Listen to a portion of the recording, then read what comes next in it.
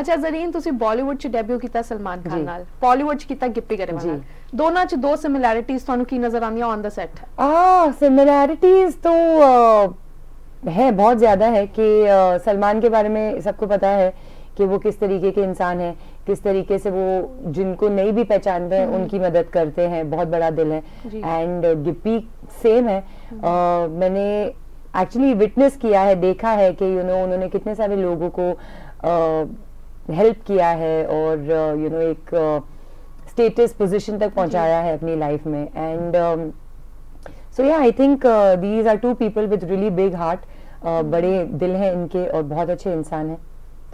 क्या बात है।